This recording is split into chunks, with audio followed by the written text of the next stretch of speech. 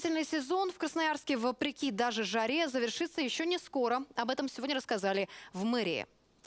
Дело в том, что в мае синоптики все же ожидают похолодания, поэтому отключат батареи только когда среднесуточная температура 5 дней подряд будет выше плюс 8 градусов. Но даже тогда глава города может отсрочить отключение, если будет прогноз на холод.